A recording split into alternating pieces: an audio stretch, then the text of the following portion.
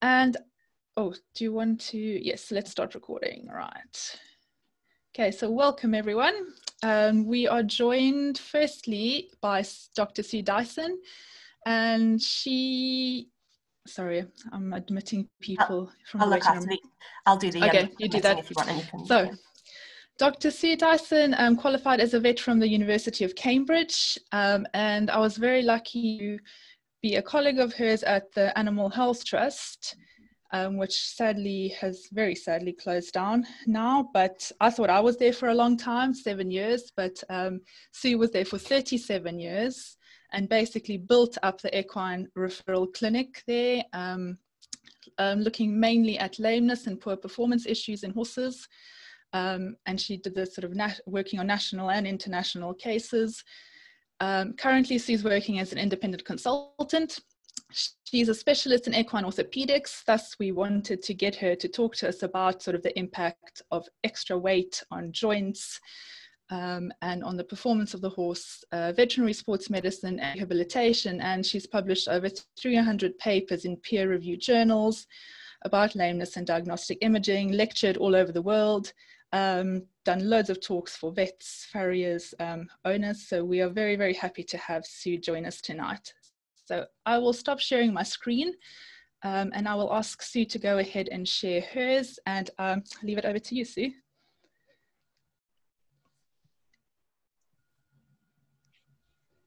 Well, it's a real pleasure to talk to everybody tonight. I think I've got a fairly controversial presentation because this is a subject I feel passionately about. And I think that we are seeing an increasing number of obese horses. And as a result of that, an increasing number of problems directly related to that. So, what I want to discuss briefly is what is obesity? What are the potential problems for an obese horse? Is the prevalence of obesity getting worse? And if so, why? And what can we do about it?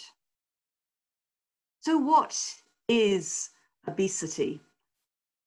I would go as far as to say that this is a silent torturer because excess body fat accumulation has a potentially extremely negative impact on the health and welfare of horses. What does this mean in practical terms and how can we assess obesity? Well, our best method of assessment is by body condition score, which basically asks how discernible are the bony landmarks by both visual inspection and palpation. I'm showing two extremes here. On gray, uh, on the left, we obviously have an extremely poor horse with a body condition score of grade one out of nine. And on the right, we have what I too commonly see, a horse with a grade seven out of nine.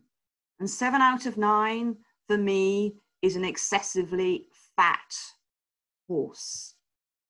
And I believe that this is being beginning to be seen as what is normal for horses. And this is to me a very major problem for equine welfare. So with a fat horse, we have excess fat deposits, often characterized by a cresty neck appearance, as we see in both of these dressage horses. These horses were conceived by their owners to be in good bodily condition, and that is not the case. These horses are excessively fat, and they had problems as a direct consequence of this. I am amazed by the fact that some of my clients misinterpret the fatty deposits as swellings reflecting muscle injury. So they will describe to me that my horse has these lumps around the back of the croup, uh, which they say are muscle problems, despite the fact that they're bilaterally symmetrical. Or they say my horses develop fatty lumps behind the shoulder. That must be abnormal. Well, yes, it's abnormal, but it reflects fat. It's not a muscular problem, it's a fat problem. Now, obviously, there are some key factors that influence obesity, those being food energy intake and the energy expenditure. And the energy expenditure is the result of physical activity and thermoregulation, that is, um, um, modulating the body temperature. And there is also a genetic susceptibility to the development of being fat. And this is another fat individual. So what are the potential musculoskeletal problems that can occur in an obese horse? Well, there are a multitude, unfortunately. There is equine metabolic syndrome, which results in a predisposition for classical laminitis and subclinical laminitis. And one of my focuses this evening is going to be talking more about subclinical or atypical laminitis. And these horses with subclinical laminitis, I believe, have an increased risk of what is sometimes absolutely catastrophic laminitis, life-threatening laminitis, which is induced by the use of corticosteroids for treatment of an unrelated condition. I believe that the overweight athlete has a reduced efficiency of athletic function. And clearly, any increased load on the limbs is of particular relevance in horses with pre existing musculoskeletal injury and is going to predispose to musculoskeletal injury. I'm going to present to you some evidence of increased risk of suspensory ligament injury in overweight horses. And the obese horse is going to have impaired thermoregulation, and this is going to influence its performance and predispose to premature fatigue, and thus predispose to musculoskeletal injury. So, equine metabolic syndrome in simplistic terms, is an altered sensitivity to insulin, which has some similarities to diabetes type 2 in obese people. And this results in a predisposition for laminitis. And on the right, we see a typical posture of a pony with classical laminitis, with the hind limbs camped underneath the body and the forelimbs extended. But it also predisposes to subclinical laminitis.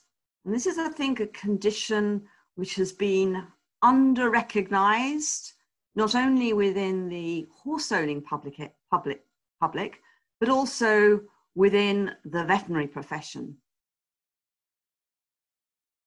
So I'm going to talk a little bit about the anatomy of the horse's foot and some aspects of that that we can appreciate using x-rays. So on the left, we've got a section through the foot. So this is the distal phalanx or pedal bone. And these are the laminar structures that support the pedal bone within the hoof capsule. So we have the hoof wall, which is relatively opaque, which we see in this part of the foot on the x-ray. And then we have the area of the laminar tissues and the sublamellar dermis, which is occupied by this tissue represented by the yellow double-headed arrow. And in this high quality radiograph, we can see a distinct line between the hoof wall and the lamellar tissues. And we can see around the, the distal phalanx or the pedal bone, we've got this relatively thin black area. And this is a normal foot.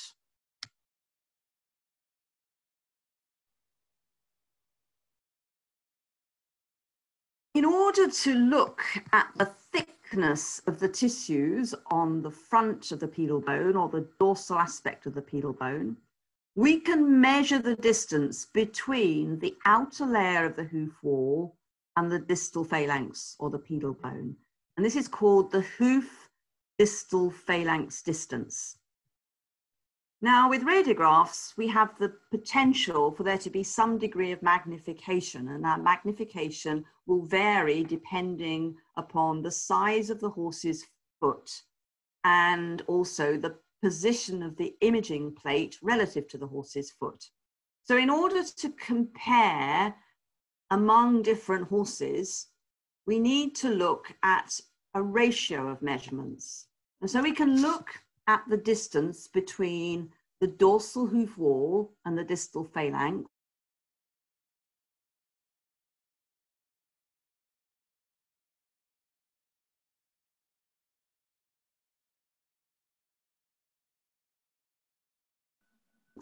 and what we call the with the navicular bone. And in a normal horse, the ratio between the hoof distal phalanx distance and the palmar length of the distal phalanx is 0.25. And in the image on the right, this is an example of a normal horse when the ratio between this distance, the hoof distal phalanx distance, and the palmar length of the distal phalanx is 0.25. Whereas in this example on the left, this ratio is 0.28. So that is an abnormally high ratio reflecting thickening of these tissues.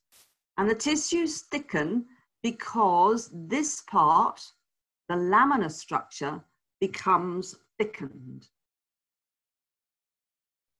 So why is this hoof distal phalanx distance potentially important?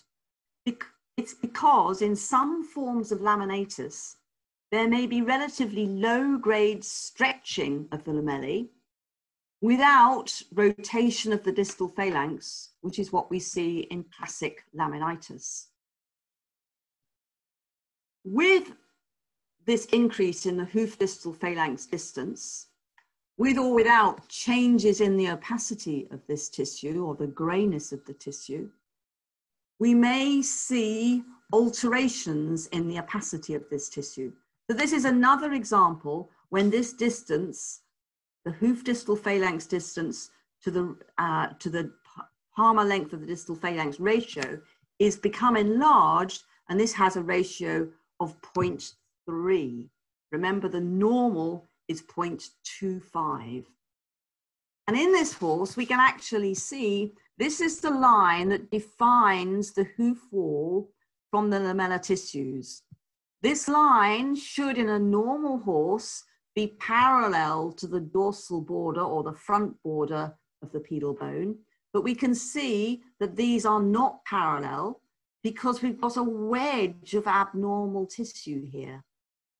Without drawing this line and comparing it with the um, front border of the distal phalanx, you perhaps would not appreciate that in fact there is a very low grade rotation of the distal phalanx because of the development of abnormal thickness of the lamellar tissues here compared with here.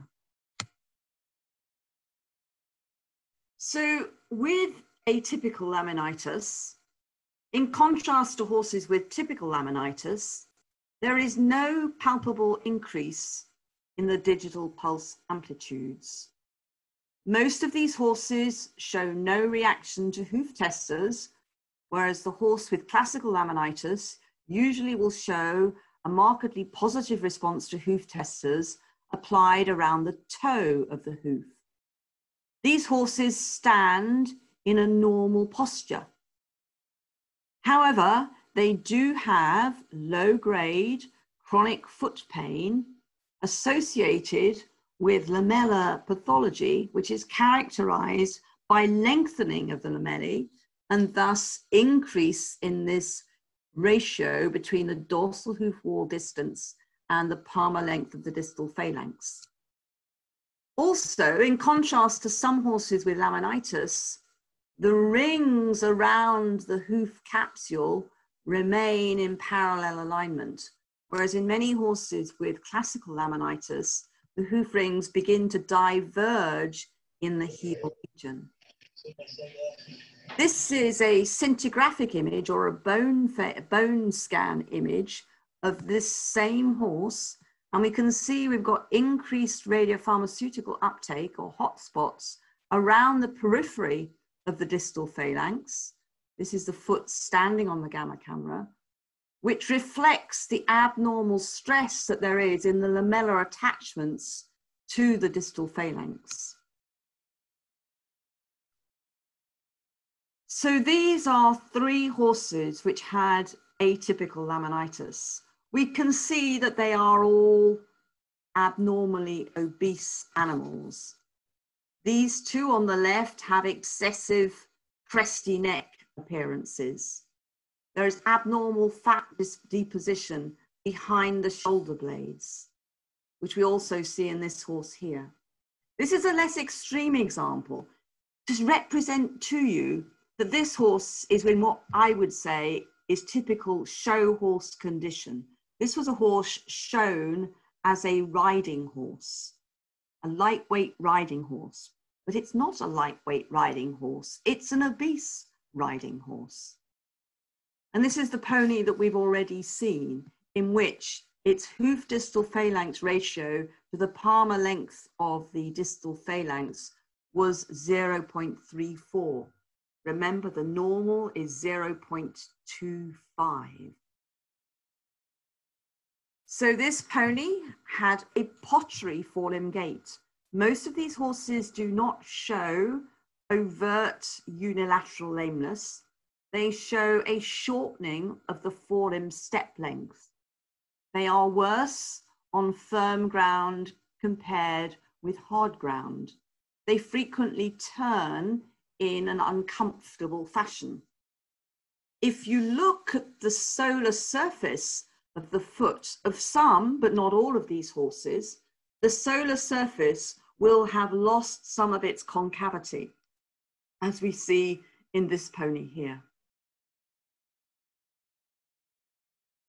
This horse with the abnormally cresty neck appearance and fat deposits behind the shoulder blades and around the tail head has additional features. We can see that not only is there increased thickness of the dorsal hoof wall, it is thicker closer to the, to the toe than it is in the upper part of the foot in both feet, but worse in this, the left front foot. But we can also see some abnormalities of shape of the distal phalanx because we have this slipper-like appearance at the toe of the distal phalanx, which reflects chronic remodeling of the toe of the distal phalanx, which tells me that this horse has had chronic laminar pathology for some time, because this is what we call a secondary modeling change.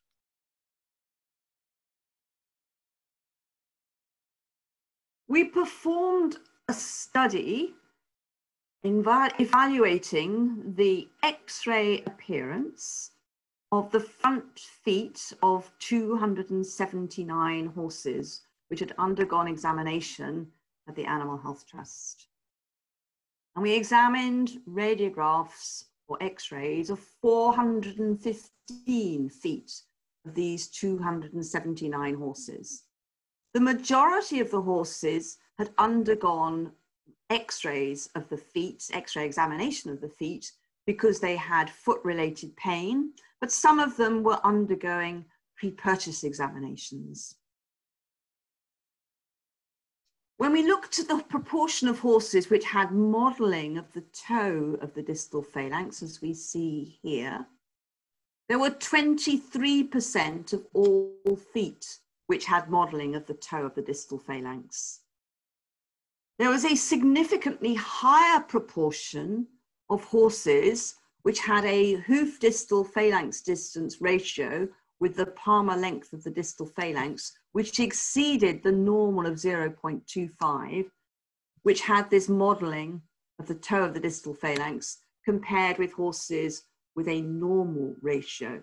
Again, supporting the fact that this modeling of the toe of the distal phalanx is seen in association with increased thickness of the dorsal hoof wall, reflecting chronic laminar pathology, the results of effectively chronic laminitis.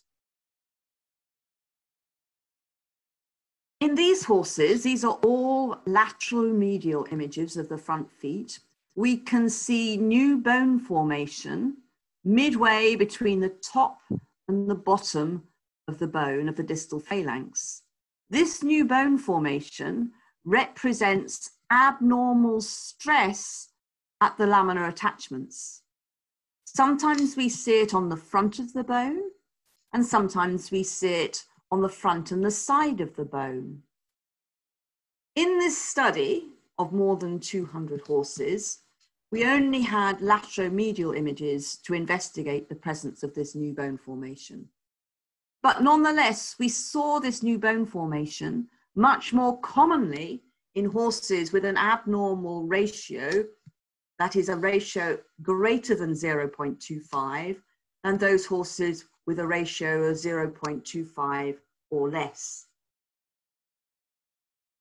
Because not all horses had oblique images, we couldn't assess uh, accurately how frequently new bone formation was seen in oblique images.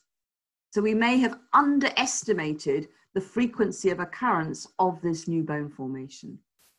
But we believe that this new bone formation is also a reflection of chronic strain at the laminar attachments of the distal phalanx as a result of this atypical, often subclinical laminitis seen in obese horses. So this new bone formation reflects abnormal stress of the attachment of the suspensory apparatus of the distal phalanx. We don't fully understand why it seems to be restricted to this middle one third of the distal phalanx, but that's where it does occur. In this study, we looked at the relationship between the hoof distal phalanx distance ratio and the height to body weight ratio.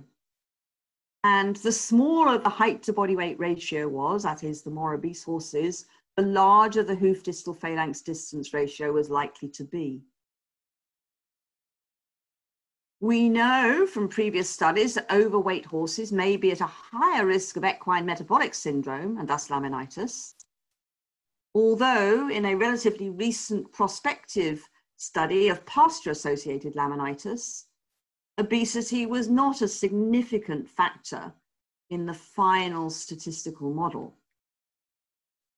In our study, Cobbs had a significantly larger hoof distal phalanx distance ratio compared with the warm bloods, suggesting a greater likelihood of chronic lamellar pathology in Cobbs compared with warm bloods.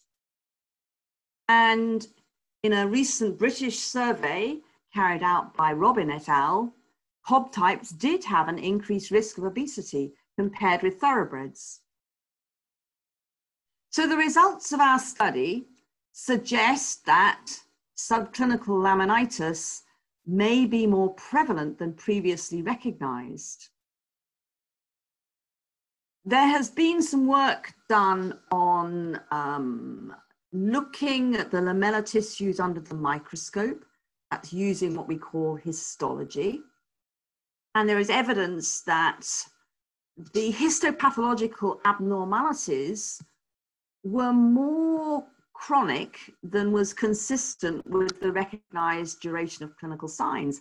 And I think this is because these horses were undergoing preclinical episodes of laminar pathology which had gone unrecognized.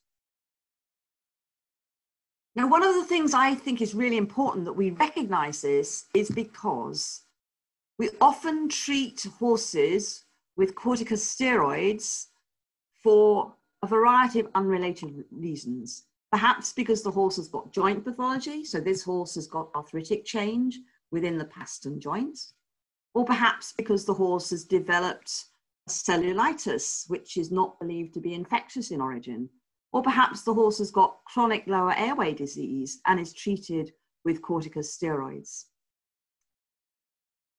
If you look at the recent literature about the relationship between treatment with corticosteroids and the induction of laminitis, there has been controversial conclusions. And many authors have suggested that there is not substantial evidence that corticosteroids can induce clinical laminitis. But I would question that data because I think there is evidence that those horses with pre existing subclinical laminitis are probably at a significant risk of developing catastrophic laminitis as a result of treatment with corticosteroids. And this example on the right was just such a case in which we have sinking of the distal phalanx. The entire distal phalanx has sunk within the hoof capsule after this horse had been medicated with corticosteroids for treatment of this joint. This horse finished up being humanely destroyed because once we have sinking of the distal phalanx within the hoof capsule, that is extraordinarily difficult to manage successfully. In 2006, I was involved in a conference in equine sports medicine and science at the University of Cambridge. And I conducted a survey of 36 top ranking European sports horse practitioners. 33% had experienced the development of severe laminitis within seven to 10 days of administration of corticosteroids in a total of 22 horses. A variety of corticosteroids were incriminated, including dexamethasone, triamcinolone, and betamethasone, and they had been administered via a variety of different routes, either intramuscularly, intravenously, or directly into joints for treatment of a variety of conditions, including recurrent airway obstruction, joint disease, or back pain. All the horses were treated at corticosteroid doses which were considered to be within the normal range. The majority of the treatments, 82%, were single treatments. But a unifying factor was that the majority of the horses were considered to be overweight at the time of treatment. And, and this is a devastating statistic, approximately 50% of the affected horses were humanely destroyed due to uncontrollable sinking of the distal phalanges in more than one limb.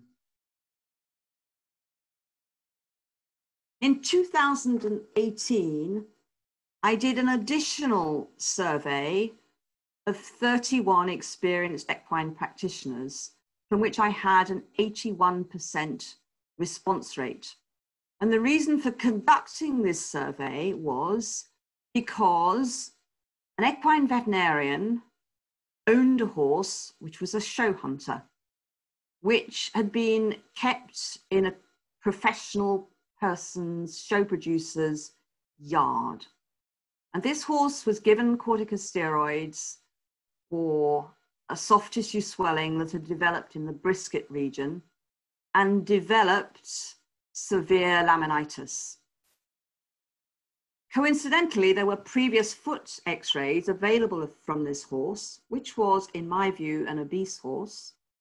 And I could see from the radiographs, looking at the thickness of the dorsal hoof wall, that this horse had pre existing subclinical laminitis, which had never been recognized. So, from my survey, 19 of the 25 respondents, that's 76%, considered that there was a risk of the development of laminitis following administration of corticosteroids, with many of them highlighting the significance of the presence of, of other risk factors for laminitis, such as equine metabolic syndrome.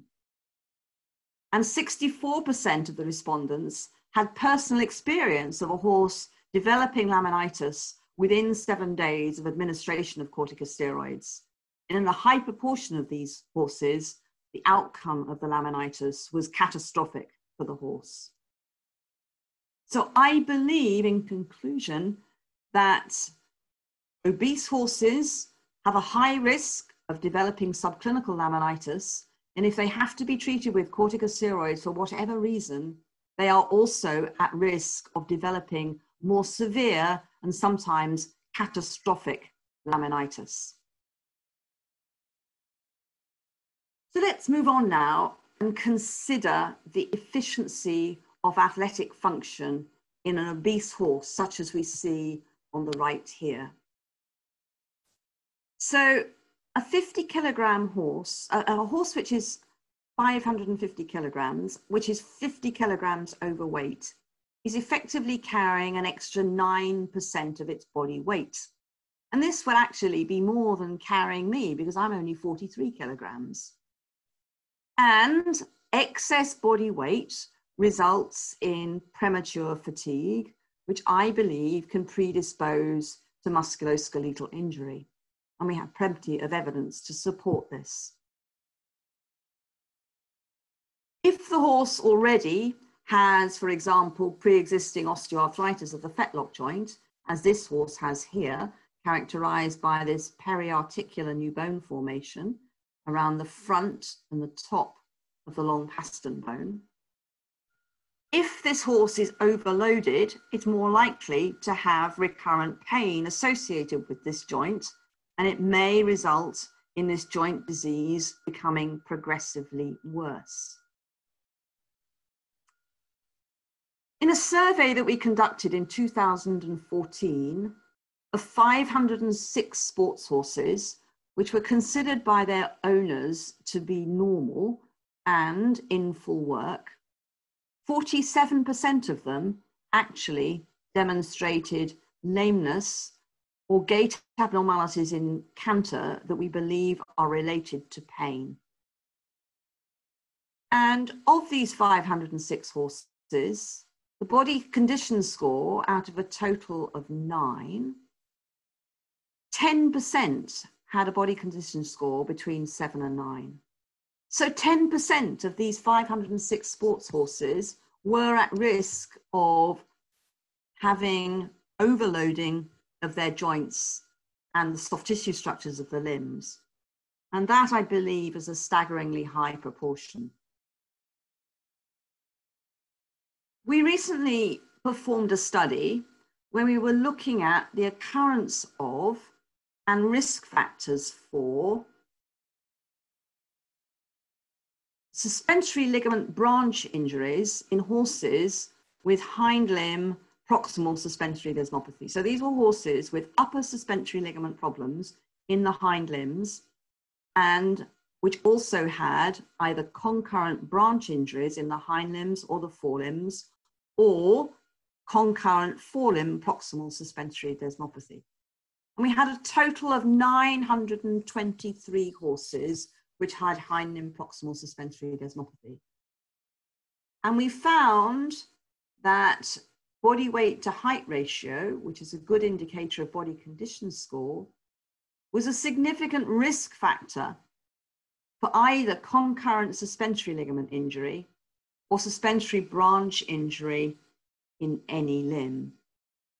So compare, so these horses had more than two times the odds of having concurrent branch injuries or concurrent forelimb suspensory ligament injury. And we had not expected this result. This was an unexpected result and was really rather a shocking result. We know that the body weight to height ratio and body condition score are correlated we know that we are seeing a progressive increase in body condition score in sports and leisure horses. The very fact that the horse is overweight is going to result in increased load on the suspensory apparatus, which may be a predisposing factor for injury. And there is also an increasing body of evidence that obesity can result in altered metabolic pathways that can also predispose to musculoskeletal injury. We also know that fat acts as a very effective insulator. So obesity results in decreased efficiency of heat loss. Overheating in a horse reduces performance and will predispose to premature fatigue. And premature fatigue increases the result of musculoskeletal injury. So, yet another reason why we should avoid having obese horses. I think it's very notable that you don't see obese racehorses or elite endurance horses or elite event horses or professional polo ponies. And we've lost sight of the fact that these are normal individuals. These horses have an, a normal body condition score. So, is the prevalence of obesity getting worse? And if so, why? All the photographs I've showed to you this evening have all been of horses presented to me for clinical investigation, none of which were considered, unfortunately, by their owners to be obese. But clearly, this is yet another obese individual. So, who, who is and what is responsible for this potential killer crisis? I believe that owners have misconceptions of what is normal. There is fashion in the show ring and in dressage that horses should be overweight. Food company advertisements, I think, are, are misleading. There is an increasing trend for supplementary feeding. In Robin et al.'s study, 79% of horse, of horse owners gave supplementary feed in the summer, which is quite ridiculous. We see an increasing propensity for horses to be rugged all the year round. This was a horse a photograph taken in the DIY yard just round the road, corner from where I live. Horses are increasingly having inadequate exercise. And I think that the human obesity crisis also has a role to play. I believe there is ignorance. This five year old Highland pony, only 14 two hands high, had a weight of 550 kilograms and a body condition score of eight. Its daily forage requirement was a total of six kilograms but it was being fed eight kilograms, two of these large hay nets, twice daily. So I think there's ignorance. So, what can we do about this? We need to recognize the problem and its consequences. We need to educate owners, and we need to educate trainers, and we need to educate judges. We need to realize that this is the normal this is what we should be able to see the horse's ribs. This is obese. We need to recognize that a fit, lean horse is a healthy horse. We need to be able to see the definitions of the horse's muscles, unobscured by fat. Food intake should match energy output. Exercise is hugely important. Exercise reduces fat mass, fat mass and increases insulin sensitivity and reduces the risk of obesity. So my conclusions are obesity is effectively killing with kindness. Laminitis is a welfare issue. Equine metabolic syndrome is a real problem. Atypical laminitis frequently goes unrecognized. We can prevent killing with kindness. Body weight can be controlled, but it requires all parts of the equine industry to be more aware and to act appropriately and to educate proactively. As I've said, the obesity crisis in people, this beginning to be seen as the normal, and our collective failure to control this presents real challenges for human health and equine health. Obesity, I believe, is the silent torturer. Thank you for listening to me, and I hope there'll be lots of questions. Thank you so much, Sue. That was really, really informative. Um, so, guys, please put your questions in the chat box. Um, we are going to have one more talk now, um, and then we will go on to our live Q&A and discussion. So please do hang around for that. Thank you once again, Sue. Yeah, thank you. That was amazing. I was just scribbling loads of notes. That was absolutely fascinating. I loved all the x-rays. Thank you, Sue. Um, really interesting to see. Um, okay, so we're now going to move over to um, a Q&A um, with Professor Cathy McGowan, who's head of the um, equine department at the vet school here at University of Liverpool. So that's the Lea Hurst, um, uh, the Lea Hurst campus. Some of you may know of it. so this was a Q&A based on questions which people sent into the care page a couple of weeks back. so just to tell you a little bit about Cathy. Um, so Cathy graduated from the University of Sydney in 1991 um, and she went on to study in um, Australia further and since then she's lived um, in England um, and in the UK and um, also studied studied extensively in Australia as well. and um, she, when she was working at the RVC, uh, she developed her interest in aged horses and the endocrine, endocrine diseases um, and started researching equine Cushing syndrome, the PPID, equine metabolic syndrome, and endocrinopathic laminitis, um, which she's continued through her various posts. Um, she's a diplomat of the European College of Equine Internal Medicine, which is some of the um, highest um, qualifications you can do, and, and our CVS recognised specialist in equine internal medicine. And she's currently a professor of equine internal medicine. Um, so she's um, a really well recognised expert um, in this area and has published extensively on laminitis um, and also lots of the really practical things about, um, for example, how long we should soak hay for, which I think Dee and I get asked every single time we do one of these webinars and, you know, those really kind of nitty gritty pro problems that we all need to know about um, day to day.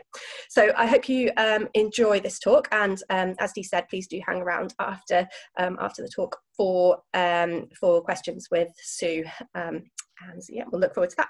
Okay, so I'm just going to share my screen uh, do, do, do, give me one second. Um, hopefully this is going to work. Um, can you now see a awful picture of me and a nice picture of Cathy? Could you just put your thumb up soon? Yes. okay, brilliant. Okay, lovely.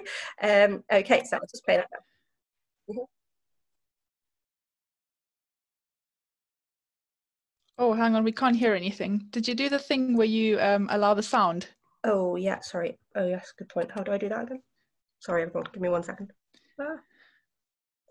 Uh, um, leave computer audio, and if you click oh, under the mute it. thing. Oh, sorry, sorry, I have to reshare my screen. I forgot about doing that. Okay, sorry. Da, da, da. So when I share the screen. We're not the most technologically minded sorry. people. Yeah, yeah. Sorry, everyone. Okay, I have to do share computer sound, share sound. Okay, that's ST um, as well as the vets of equine at the vets, good. Um, and is one of the most well-respected professionals in the field of equine metabolic syndrome, weight loss, and everything. So we're really lucky to have her talking with us today. Thank you very much. Um, so we've got um, quite a few questions that have been sent in by the community.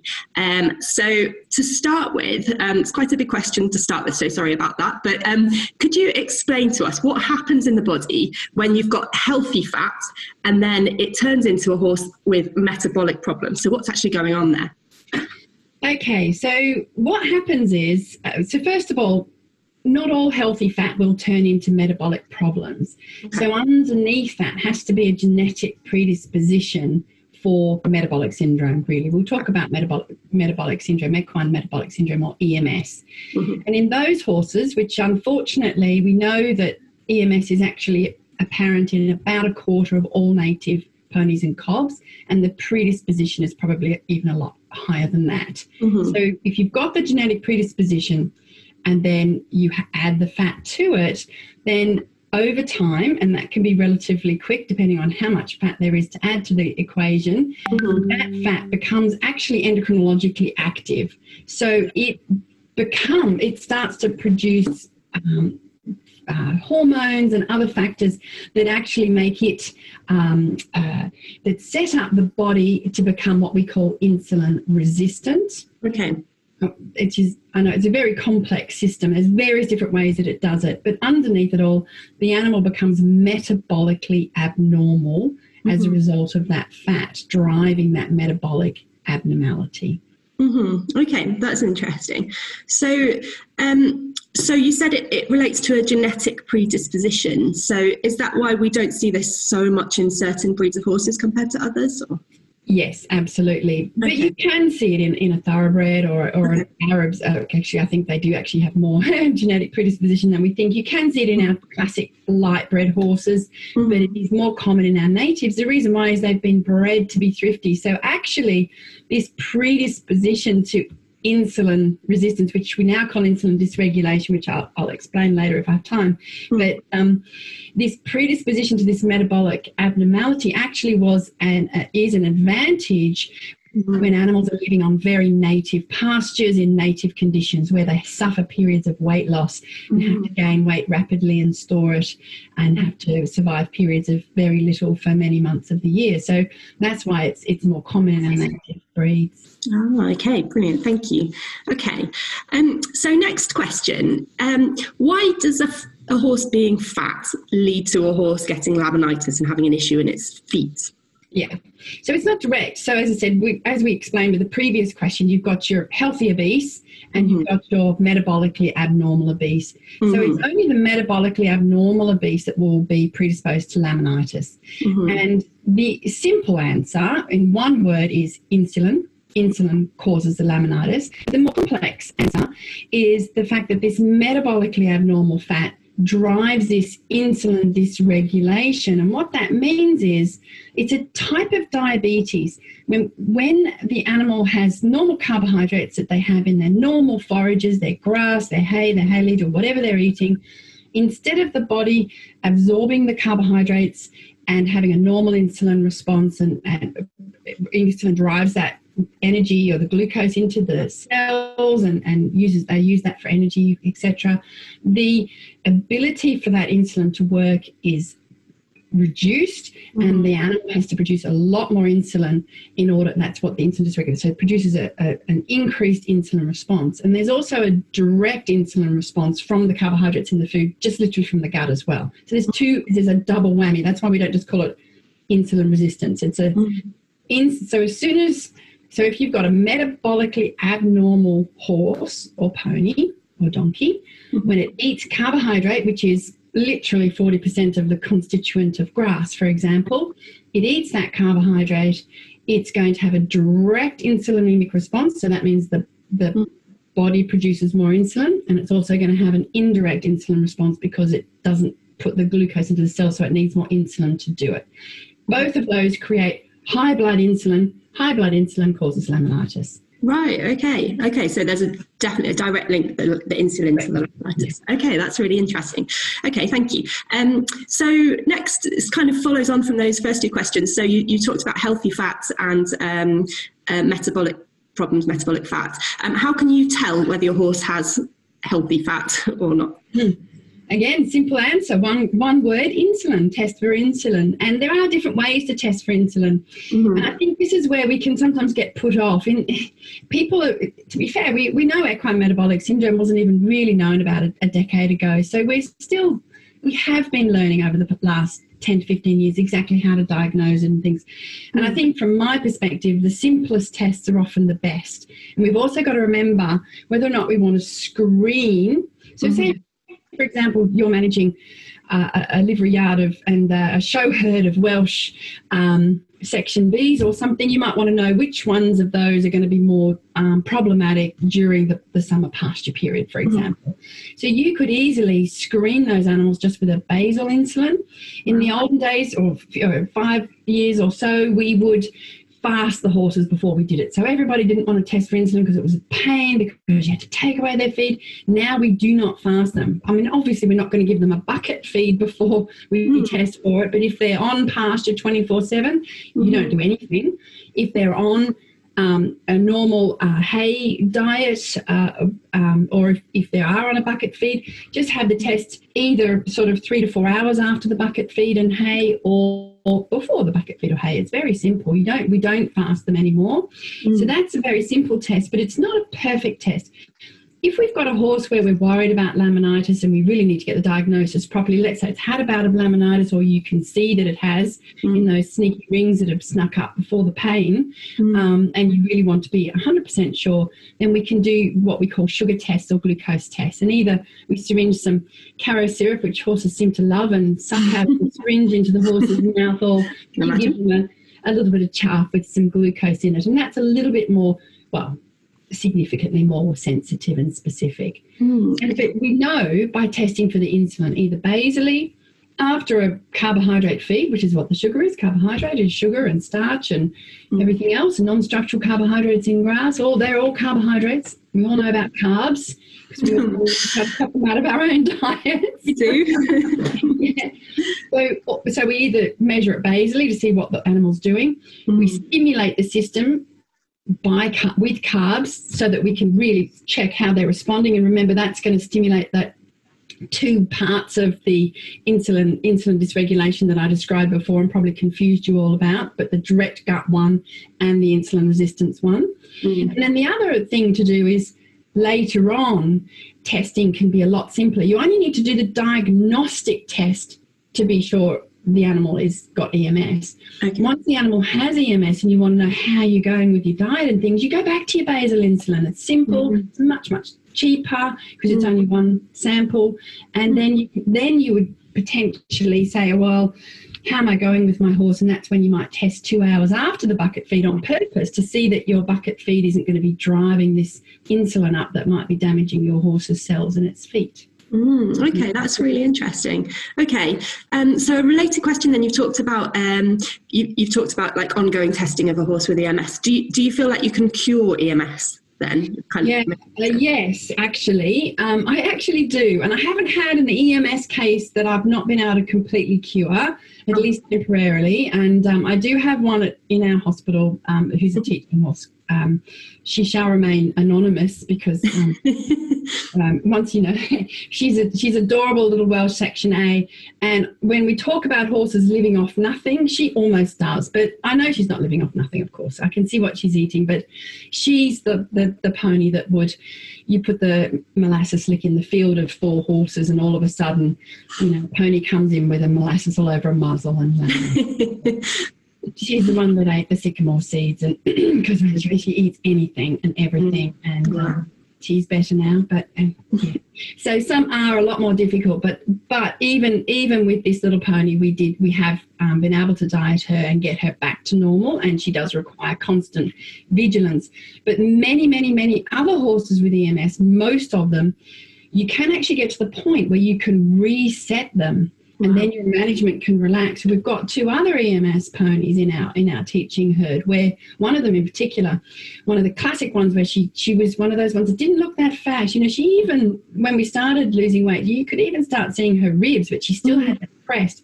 But once we got rid of that crest, then we were able to reset her metabolism and put her out literally 24 7 on pasture. And she, she goes So she doesn't even have to, um, you know, we don't have to worry about her as long as we never let that. For her, it's all about the crest monitoring. And individual horses have different things. Babe, it's the whole size of, yeah. Oh, sorry, I said her name. okay. Thank you. That's super helpful. Okay, um, so we did have a question about crests. Um, so do you think that so on certain types of horses we know that crests are kind of more likely maybe for example spanish horses and also on um, stallions um, you know obviously more prone to putting on a crest. Are there certain types of horses whether it's a breed or whether it's you know a stallion or whatever that where you feel like it's acceptable for them to have a crest or, or is it always fat? Well i mean there's there's some elastic tissue in the nuchal ligament, and it, but it is still fat. Um, right. And so we can't pretend it's not. It's just you can't expect a stallion to not have a crest. I mean, it is mm. acceptable to a degree, but I would advise stallion owners, particularly of, of native breeds, to keep an eye on that crest mm. to test if it's nice and spongy or if it's getting firm. You know, we know what crests do when they when they accumulate more fat and they do get firm. It's also there's some evidence in the research that the fat in the crest is actually more metabolically active than in other areas. In humans, it's our it's our fat in our omentum in our in our tummies. That's mm. why people with beer bellies can often be more metabolically abnormal than people that are fat all over because of different type of fat can be more metabolically active than others and there's some evidence to say that that, that nuchal crest and the, the crest fat is, is more metabolically active in horses so it's an it's an it's a fact of life that stallions will have more of a crest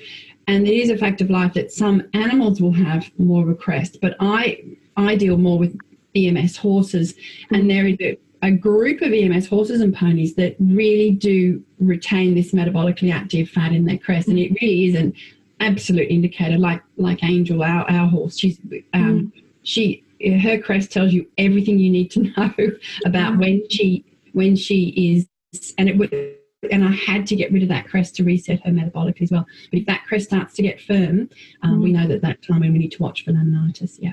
Mm, right, that's so interesting. I didn't know that about um, belly fat on people. I'll have to watch that. Okay, thank you.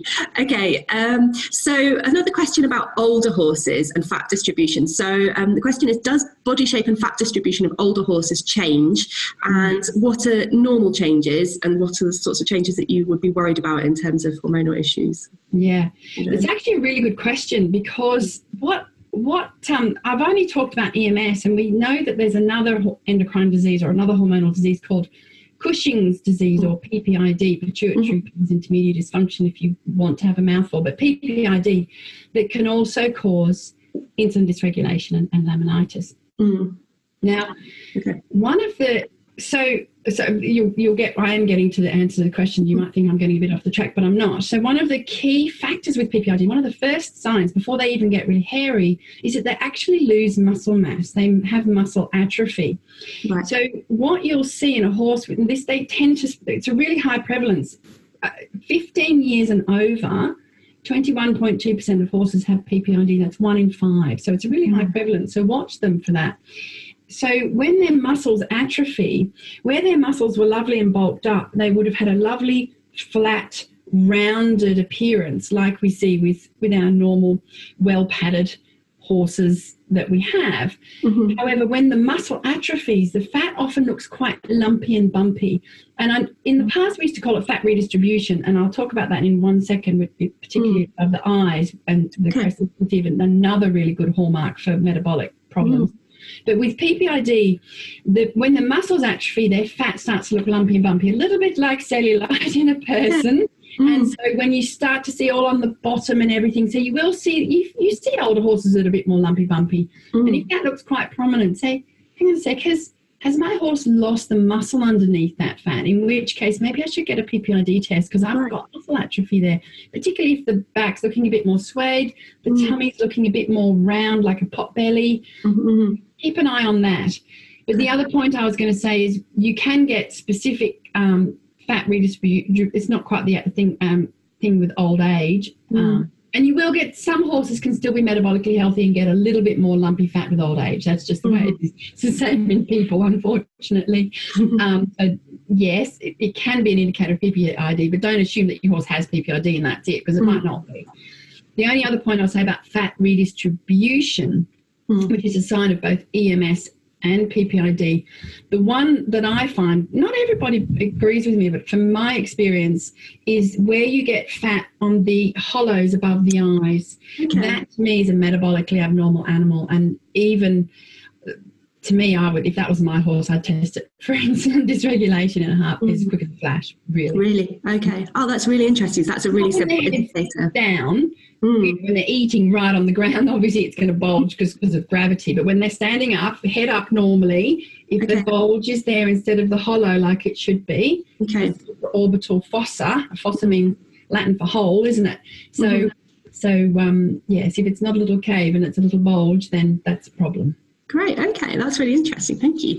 Okay, um, so uh, a question then about what are the so what about owners owners perceptions of fat? What, what would you say are the most common misperceptions or misconceptions that you see among owners about a horse's weight?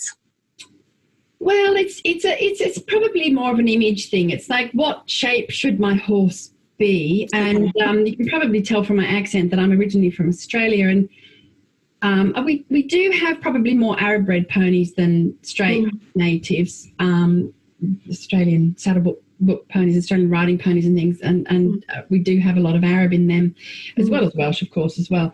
But I think the thing is, is that in I think a lot of people get very um, convinced that their shape should be quite blocky and, and square, whereas mm. underneath all of those blocky ponies is a real horse shape. And I think so. From my perspective, the most common misconception is the wither. So where you've got a very very flat wither, mm. um, I think that that's people don't see that as a fat accumulation. I think that mm-hmm. they think that's that the horses that somehow the muscles have grown up either side of the wither or their bones are a bit lower in that animal. Whereas mm. I think really in most cases it's fat accumulation around the dorsal spinous processes of the thoracic vertebrae if you want to know the okay interesting so you feel like we should be able to clearly see a wither in, in nearly all horses yes. okay right okay oh that's fat Interesting. Okay, thank you very much. Okay, um, so last question we leave you to your day. Um, so uh, obviously we know that your background's in um, exercise physiology. So we were just wondering, what sorts of exercise would you say is best for maximising weight loss or fat burn?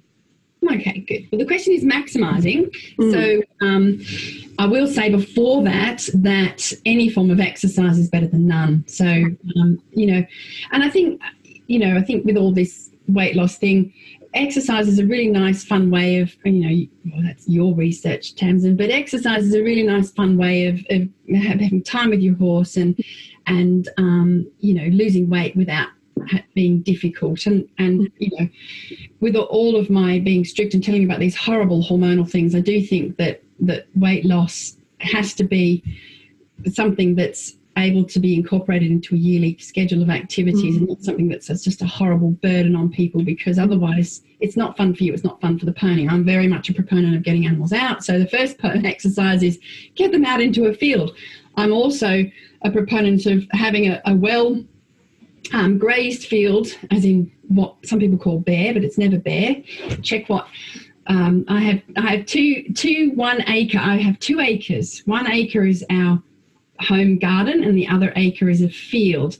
And I can tell you, my field looks bare because it's got animals on it, mm. and my home garden needs to be mown every week. I can tell you what those animals are eating because I can see my compost heap getting bigger and bigger. It's a okay. now, and it was a brand new compost heap this year. You know, so so anyway. Um, so, first thing, if you put them on a bare field and make them work for a forage for their dinner, that's the first form of exercise. The next form of exercise is, is, is obviously walking, and then, but the main uh, the main principle we're talking about insulin dysregulation, and the animals, all animals, including even us, mm-hmm. are absolutely physiologically driven evolutionarily that if you glycogen deplete, if you deplete the sugar in your muscle cells, okay, you will, no matter how abnormal you are, you will absolutely maximize your insulin sensitivity afterwards. Okay. So, so endurance exercise. So it needs to be, but endurance exercise is actually a little bit faster in the horse than you might realize. So when you're walking your horse up the road and up a small hill, you'll probably start breathing heavily. Well, I do anyway. Um, you might think that that's exercise for you, but unfortunately, the horse needs to, to really start to, to use that glycogen. It really needs to be trotting mm. um, freely or fast. Or uh, and that and or even cantering. So moderate intensity exercise for a horse is actually canter exercise and faster. Believe it or not, even pony ponies are no different. So um, moderate. So if you read the research, it's moderate intensity exercise with periods of high intensity exercise will maximize your insulin sensitivity. But I don't want to make that difficult for people. If people think, okay, any exercise is good, mm. and if I can burn away some of that excess energy in the muscles of my horse, it's going to mm. really help. And obviously, they have to not have laminitis, etc. But good, you know, a good 30 minutes of trotting exercise without spending the whole time at a walk will be really, really good and really, really healthy for a mm. horse. So that's what I would say is, is I'd keep that as the baseline. Mm, great. Okay. Well, thank you, Snip, wasn't it? no, that's brilliant. Thank you. Okay, um, that's covered all the questions we had here. Was there anything else that you wanted to add before we let you get on? Yes. Well, I just wanted to say that that kind of how I prefaced the answer to that question was, mm. I think, um, you know, weight we've got a lot of i've got three native ponies in my teaching herd and even some of the non-native ponies even ex-police horses can be quite difficult to maintain um, nice slim body sizes mm. i think we, from my perspective what i'd like people to understand is not all fat is going to lead your horse to laminitis, although all fat will make your horse have more pressure on its joints and its respiratory system. So okay. don't think it's not going to be innocuous. It's always a problem, but mm. you've got more time when you're not metabolically abnormal. So my first point, just to summarize, is why not know if your horse is metabolically abnormal or not? Because then at least you'll know if you've got to sort of be really, really strict or take your time, take it, you know, just be consistently good, I guess is probably more the point. Mm-hmm. The other point is, is that all weight loss I think really needs to be, um, uh, you know, weight control needs to be managed in an, in an, a way that works for each individual person. And again, I guess that's your your side, not mine. And from my perspective as, as a vet that sees a lot of EMS cases, if you've got a little bit of time, if your horse has not laminitis at the moment, and if it's mm. even if it's metabolically in um, abnormal. Use winter weight loss, use the seasons. Remember what why they've evolutionarily come like this in the first place. It was because they were designed to be like on the Shetland Islands or in the hills of Wales where they didn't get feed for three months a year. You know, let them drop the weight over the winter, let them reset. So I guess that was my point. Let them mm. try to reset your animal, whether that's a period of dieting, not forever. Don't diet, don't be strict. I think a period of strict dieting where you can relax, reset them, whether mm. that you use winter or whether or not you do that as a diet is is up to the to the hmm. person. Mm and um, and work it work, get use exercise and work it into your daily routine and make it fun for everybody Brilliant. Okay, that's so helpful. So we should be just allowing winter to help us with that, allowing our horses ideally see their ribs in spring, and then that helps us to reset them, like you said. Let them reset their metabolic because that's what that's how they survived in in the past. Let them reset their metabolic um, or their metabolism mm. over the winter. Mm. Yeah, let them come out of the winter showing the ribs. Absolutely. Thank you. Okay. Oh, fantastic. Thank you very much. Right. Well, I'll turn off this recording, but thank you. Um, that's uh, um,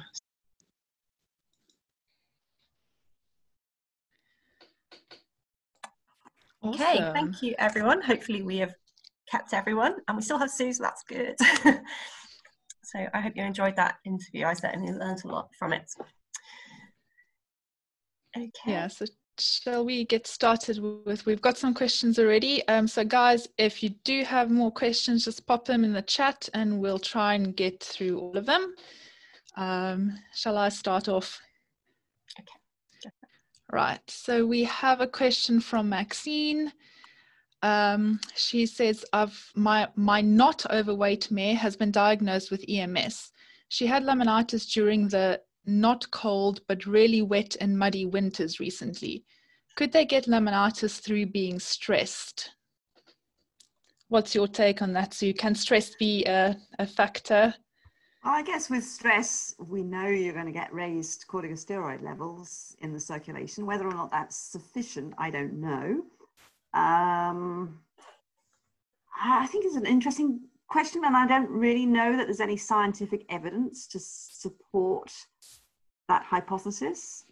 Um, one really needs to look at corticosteroid levels in a variety of horses under a variety of different conditions, I think, to be able to scientifically answer that question. Yes, definitely. And I think it's probably sort of um, how do you, yeah, as you say, how do you measure that stress and how do you sort of standardize the conditions under which you measure the stress um, between different horses? Yeah, which is which is pretty difficult to do. I think. Um, I think there've been lots of studies that have looked, for example, at corticosteroids under a variety of different circumstances, and we know that there are so many variable factors that can influence the amount of circulating corticosteroids that making any conclusions of cause and effect is extraordinarily difficult. Yeah, and I suppose sort of with um, uh, Maxine mentioned sort of the not cold winters, which we seem to be getting more and more of these winters where it's not quite cold, but we get a lot of rain and sort of the grass doesn't stop growing, um, which probably doesn't help.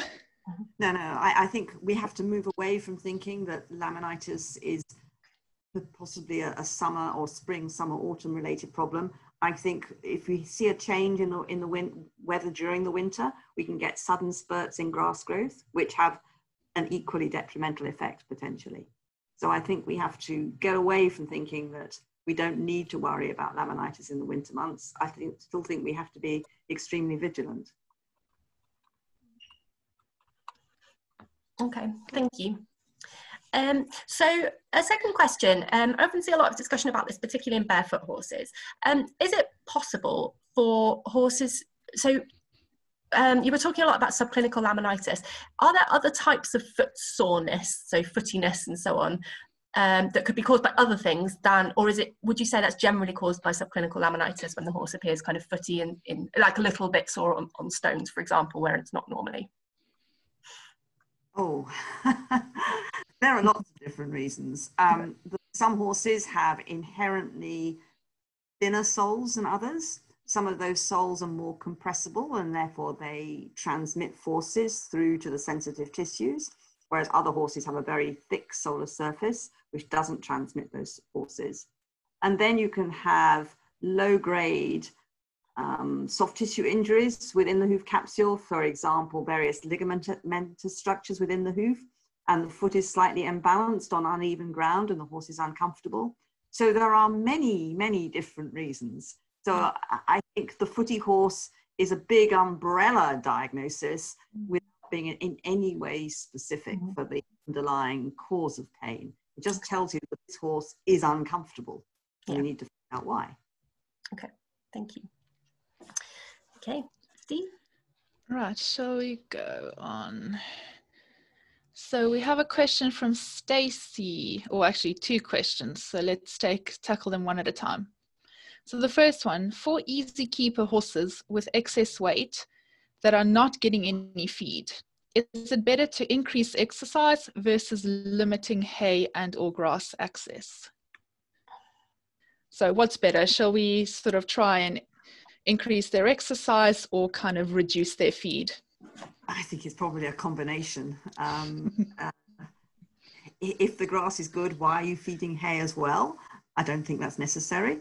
Um, but it always has to be balanced with exercise. So I strongly believe that many horses are under exercised, um, perhaps because we have less lack of time, but we need to exercise horses more if at all possible.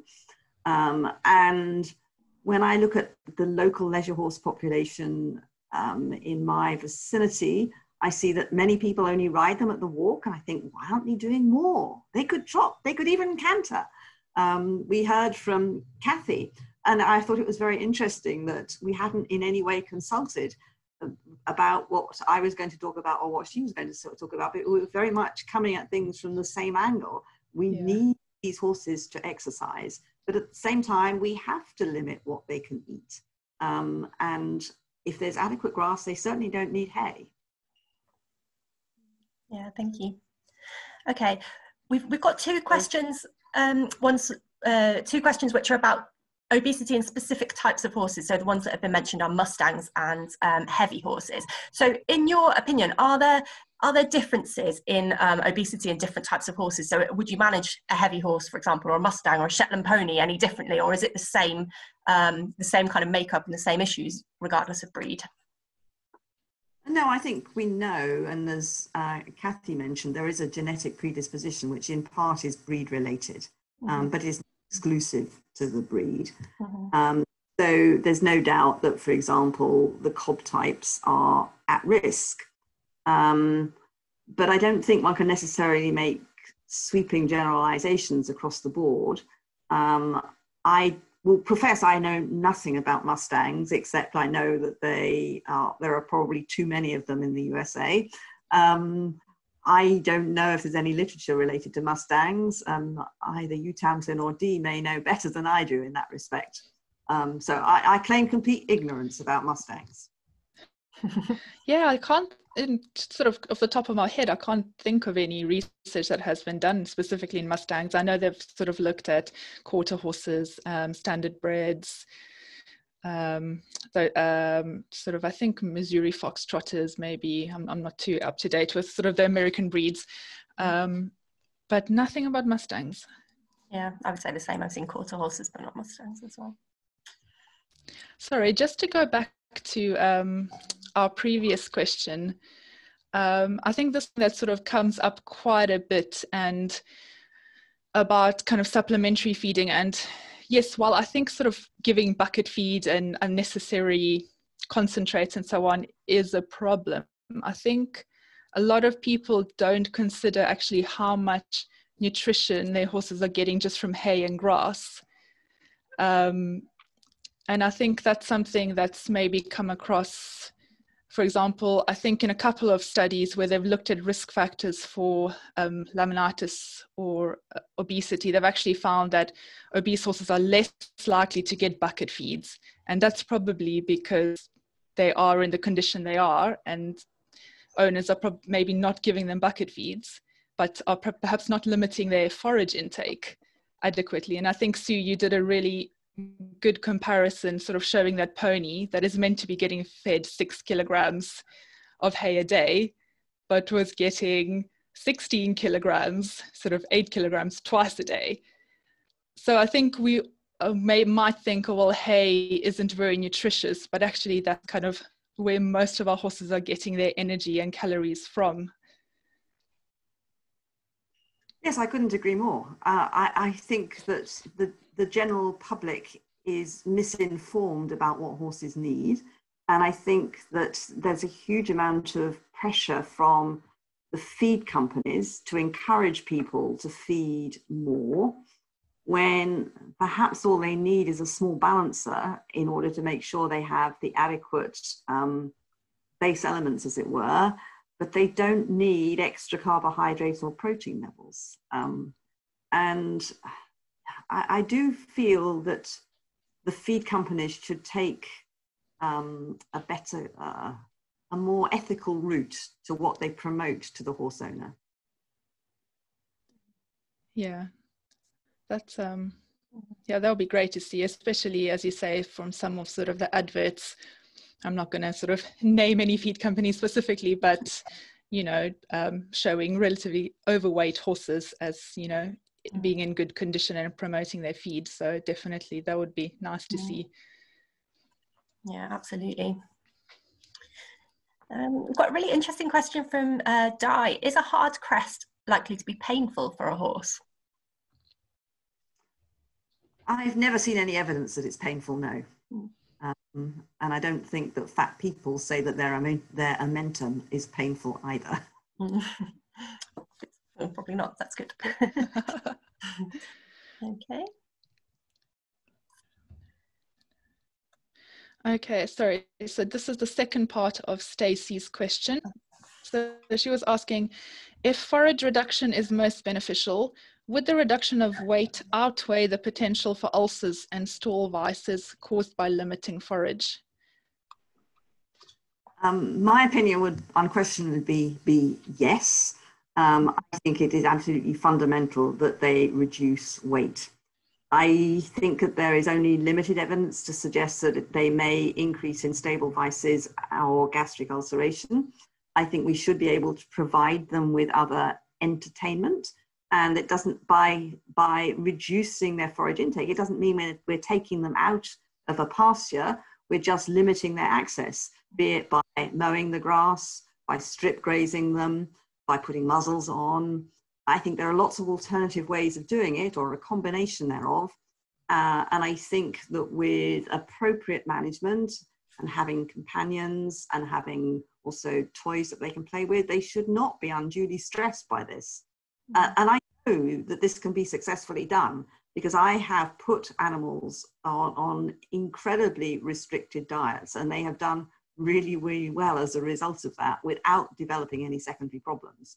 Uh, and I think that we tend to um, overestimate the consequences of dietary restriction, perhaps because we anthropomorphize thinking that we would be hungry, we would be irritable or whatever, and that's actually not the case. Mm-hmm. I think animals can adapt remarkably well to huge dietary restriction. Yeah, yeah, that's really interesting. Uh, oh, sorry, Tamsin. I, I, was just going to add, um, if um, the person who asked that question wanted, we, we've talked a bit in um, particularly the webinar with Claire McLeod, who is a nutritionist, um, about ways to, if you use really low calorie forage, if it's something you're particularly worried about with a horse, um, using, for example, sometimes chopped straw as forage and those sorts of things to keep your horse entertained if you're really worried about that, or using different types of hay nets so that some will take them longer to eat and so on, um, and, and also different ways of using enrichment as well. So just um, as a kind of follow on to what Sue said and agreeing with her, there are some specific examples of things that you can do um, if you're interested in our previous um, webinars, which are recorded. Cool, let's see. Um, we had a question uh, from Lenovo asking about whether you have any advice, Sue, about what to do when people are keeping multiple horses together and they have different needs. So if you're keeping a skinny old horse with a fat, fat younger horse, for example, um, do you have advice for how people manage that? Well, I think that's tough, particularly if they're sharing pasture. It becomes pretty well impossible. and I know even when horses have been split into separate pastures, there are so-called do-gooders on the yard who think that animal isn't getting enough to eat. So they give it more, contrary to the advice and expectations of the owner. Mm. And I know that there have been some major fallouts between people as a result of this, understandably so. Um, so I think that you, you probably need to get an outside person in to talk to everybody about the best ways of managing the individuals as a group, accepting that it is impossible, I think, to manage them all on the same pasture. They've got to be treated as individuals. Mm-hmm. Um, yeah. That means some of them coming in for a while, so be it, but they have to be treated as individuals, I'm afraid. Mm-hmm. I know it complicates the issue, but that's how it has to be. Yeah, absolutely. I sympathise with this poster because I did have a um, ancient thoroughbred mare with a young Welsh cob, um, and they were really attached to each other, so had to be together, and it was rough. But so I had to do things like having the uh, Welsh cob in really hard work, and you know separating them for parts of the day and so on. But yeah, you you have to manage the weight, don't you? You can't just you you can't just let it go because it's difficult. It's really tough. Yeah. Okay. Over to you, Dee. Oh, Right. This is, I think this is a really good question. So from Sarah, she said, could hoof pain present as a lazy or lethargic horse? Um, her horse has been on a steady weight loss plan and increased exercise for several months, but still has no enthusiasm for work.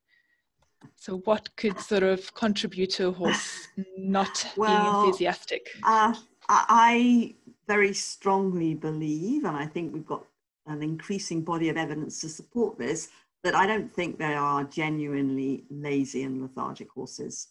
I think most lazy and lethargic horses have some underlying pain related problem. Um, and I can't say specifically where the pain may be coming from. It may be foot pain, it may be back pain, it may be hind limb pain. But the lethargic horse, the lazy horse, generally has underlying musculoskeletal pain. And I know from observing these horses ridden that if I can take away their pain by applying nerve blocks to the limbs on a temporary basis, you immediately see a transformation in their attitude towards work. So I know that their attitude is a cause and effect. Pain causes them to be uncomfortable and therefore they do not want to work. And I think that there has been over the years a conditioning of the horse owning public that there are lazy horses and I think that this arises in part because most of us learnt to ride at riding schools where there is mm-hmm. unfortunately a high proportion of horses which have some degree of musculoskeletal pain. So they are grumpy. They don't want to go forwards very willingly. They make ideal riding school horses because they don't want to go very fast. But then we become conditioned that these are normal behaviors for horses. And I would like people to think outside that box and say, these are not normal behaviors. We have to understand that these are ways in which the horse is trying to communicate with us that it is uncomfortable. And then we, it's our duty to try and find out why it's uncomfortable. Yeah. And just as a quick diversion, going into sort of saddle fit, because I think that's a really sort of interesting area, especially when we have horses that do lose weight. So, what would you recommend to sort of like the ideal space, um, duration between which you should have your saddle checked. For example, if your horse has suddenly lost 50 or 60 kilograms over a couple of months, you know, is it advisable to have the saddle rechecked? And then going forwards, how often should we be looking to check that saddle? That, that's a very good question. Um, we did do a study when we followed um, about 140 horses every two months over a year, measuring their back dimensions and relating their change in dimensions to the season, their work histories, whether or not they had musculoskeletal problems, whether or not they'd had a recent saddle fit change. And we know that there are measurable changes in back dimensions within two months within many horses. So I think if the horse has lost weight considerably, then its saddle fit needs to be readdressed after that weight loss. And then we need to be rechecking that saddle fit at an absolute minimum of every six months. And I think six month rule is appropriate for any horse. Um, and if you're continuing to see changes in shape, then you need to continue to have a more regular saddle fit check. And I think this is enormously important for the horse's comfort and the appropriate development of the back muscles and the horse's overall comfort and way, way of moving. And I think that saddle fit has been something that has been hugely underestimated in its potential influence on equine welfare and performance. Um, it, just think about yourself wearing a shoe that's uncomfortable. You wouldn't tolerate, mm. but we expect the horse to do have a clothes peg around its back, for example, because of tight tree points in the saddle um, it is a very, very important issue that's sadly overlooked. Yeah, definitely. And I think if, if we're also kind of um, advising people that we want to see the seasonal weight, you know, we want to mm-hmm. see the horses losing weight over winter, you know, resetting their metabolism and then leaving a little bit of space for some weight gain when the mm-hmm. grass comes through, then definitely if they're going to be changing shape, you know, between winter then every six months the absolute minimum does make sense then mm. over to you tamsin actually just a follow-up question if that's okay on that um, because we we also um, uh, often talk about saddle fit of very fat horses and when people are trying to exercise them but they're almost too fit for too fat for any saddle and the issues that people face at that point and then saddles moving and slipping all the time and so on. Um, and given that that's your area of expertise um, that'd be a shame not to ask you do you have any advice for people in that situation where they're finding it really hard to get saddles that sit comfortably because the horse is so fat and obviously they can't exercise it without riding particularly um, I, I, think it's a difficult situation because there's no doubt that the rounder the horse's back, the more likely the saddle is to rotate from side to side. And if the back of the saddle is rotating from side to side, that's going to influence the whole movement of the saddle and the way the front of the saddle will bang up against the spinous processes, which is going to create discomfort for the horse. But there's no magical cure. I think if you work with a good saddle fitter, and work with a variety of different girth settings, you can improve the situation in some horses. Mm. Um, and uh, it is very much a matter of trial and error with different saddle types. Mm.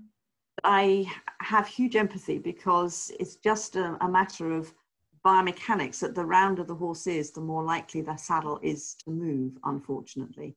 Mm. And then you have these with these um, big abdomens and thoraxes, and then you, the girth groove is too far forwards, which tends to drag the saddle forwards, and then the saddle impinges on the movement of the scapulae, the shoulder blades, which in itself is a problem.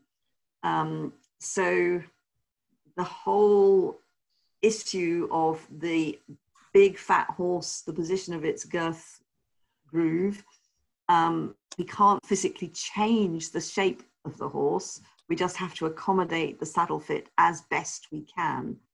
And there are some saddle fitters who are better at doing this than others, in my experience. Mm-hmm. And it's not a question of saying you need to use X brand of saddle or X brand of girth.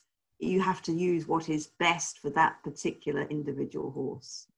Mm, okay, thank you.